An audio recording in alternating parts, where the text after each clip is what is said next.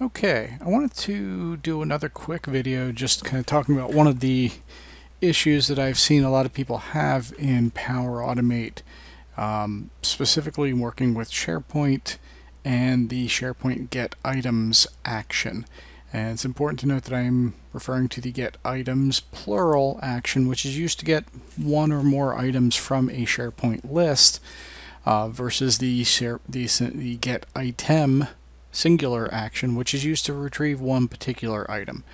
Um, and this is an action that get items is often used when you want to, you know, cycle through a set of uh, items in the list. Maybe you have a, a list where there's a status column and you want to get all of the items where the status is pending so that you can send a reminder email or do, you know, perform some other kind of update.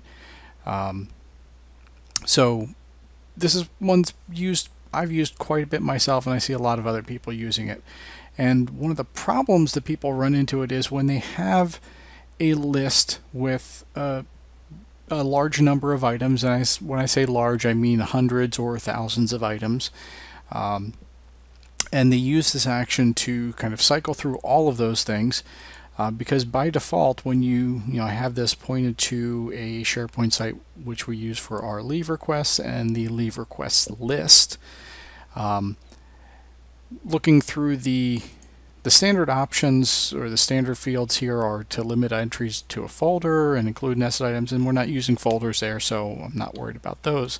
But when you look at the advanced options we have the ability to filter the results uh, specify an order there's a top count and it says the total number of entries to retrieve default equals all. So you would imagine that it's going to bring all of your list items to you. It's going to return all of the items in that list. Uh, and then another option to limit columns by view, which just basically can be used to, to sub uh, specify a particular view of the list and only return the columns in that view. It can be uh, if you have a column or a list with a lot of columns, more than you know a, a dozen or two columns, then this can be really helpful in limiting the amount of data being brought into the flow and making it run a little more efficiently. Uh, but I'm just going to leave this blank as is and just for reference that leave requests list in my SharePoint site has 3,634. Let me just refresh to see if any more no, 3,634. All right, so I'm going to test this flow. I'm going to manually run it. And it's just doing a connection there and should, there we go, run that flow. And when it runs, so I know I have 3,600 plus items in that list, but when I look at my get items, I'll, I don't actually know how many items are being returned. So this is the first tip that I'm going to give you, which I, I, if you've seen any of my other videos, I've probably mentioned it before. Um, whenever you're doing, uh, performing this get items action, uh, it's good to know how many items you're getting back, if for no other reason than to understand why the rest of your flow might not work the way you expect it to. Uh, in other words, if you're expecting it to get 300 items and it's only getting 100, uh, then there could be a problem or it could cascade into other problems in your flow. So one of the things I like to do is I throw in a compose step here and compose is sort of the Swiss Army knife of uh, actions in Power Automate. You can do a lot of different things with it, but in this case uh, I'm going to throw in an expression here and use the length expression which the description tells me returns the number of elements in an array or string and in this case I'm going to get the list of items from that get items action.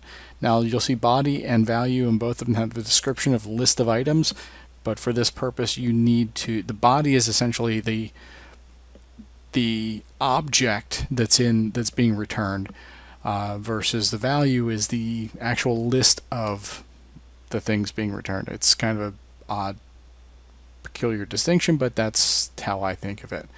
So we'll save that and let me run that flow again. Once it finishes saving,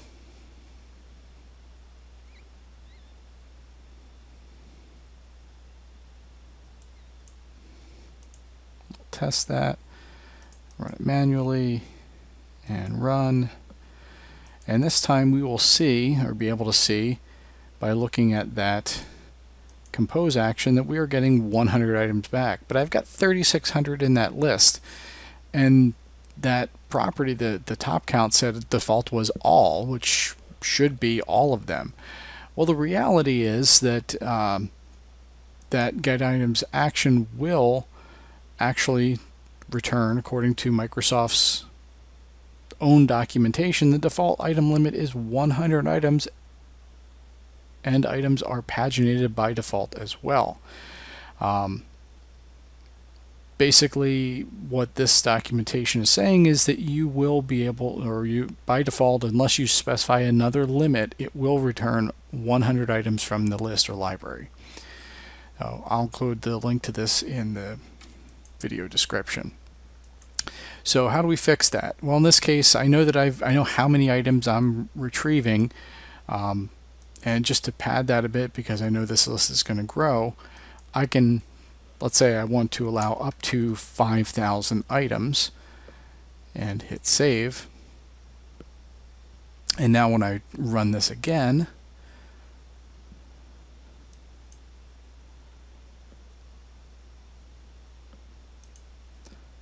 I'll do another manual run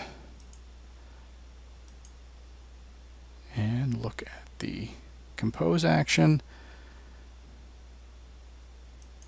and we'll see that it returned 3,634, which is the number of items in that list. So basically, if you are using get items in your flows and you're having trouble with the flow not doing what you expect it to do or what you want it to do, there's a good chance that it's simply not returning the number of items that you want to get out of that list. Now, Another important factor is the, uh, as I mentioned, there's this, this article talks about what those limits are and how to adjust them. Um, and there's also a setting of pagination, um, which is an advanced setting for the get items action. So if I jump over here and I edit this flow and I go to the settings for this action, you'll see there is this pagination option. And the description here is a little confusing. Retrieve items to meet the specified threshold by following the continuation token. Due to a connector's page size, the number returned may exceed the threshold. Um, basically, this is a way of sort of not bypassing, but cooperating with the API limits. So if we take a look at the SharePoint connector, uh, and I look specifically at the throttling limits, we'll see that we have a limit of 600 API calls per 60 seconds. Now, in our case, because we're basically it's it's considered one API call to retrieve those items, so it's one call within 60 seconds. But if you were using this uh, action inside of, say, an apply to each loop where you're applying it over five or ten different lists or five or ten different document libraries.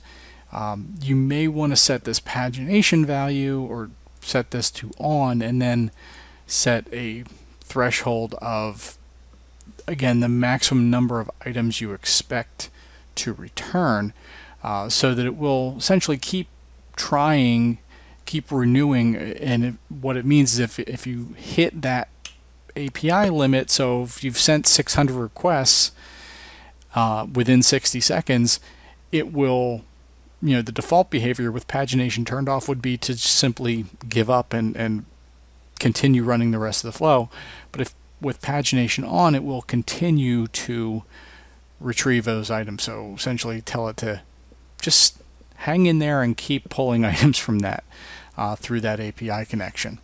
Uh, so that's something that you might want to as sort of a general rule of thumb, I would typically, uh, in most of my flows, whenever I set that top count, I set the pagination to on and threshold to the same value. It may not actually do anything, it may not make a difference, but I know it's never caused me any problems. Um, so for me, that's that's kind of a small uh, token of, or small indication that it's not a bad thing to do. So, and again, in our case, we're already retrieving the right number of, of items, so I don't, that pagination setting is not going to make a difference. Uh, one other thing to know is that when you use this get items action, you may get a message, a warning uh, in the flow checker. Uh, in this case, it is not warning me. I'm not sure why. Guess because it did before and then maybe it knows that I ignored it and it's giving up. Um, or actually if I leave this empty and save that. There we go. So basically if you leave it empty, again, this is kind of backwards because the default is 100, so it's only going to retrieve 100 items, um, but it will throw this warning, at least momentarily throw a warning, that uh, essentially if you leave all of this empty, there we go, just took a moment. Um, updating action, get items to use an OData filter can improve the performance of your flow. So essentially what it's saying is whenever you use this get items action, it's a good idea to not just bring everything into the, the flow. So if you have a list or a library with 10,000 items or 10,000 documents, um, could you bring them all into the flow with the right combination of settings? Yes. Um, but you generally want to, you know, to optimize the performance of your flow, you'll want to use a filter query there to control what actually gets brought in. So in, in our case, you know, I might want to only bring in those items, those um, leave requests that are rejected or are approved or are pending so that I can basically see how many things are sitting out there waiting to be dealt with.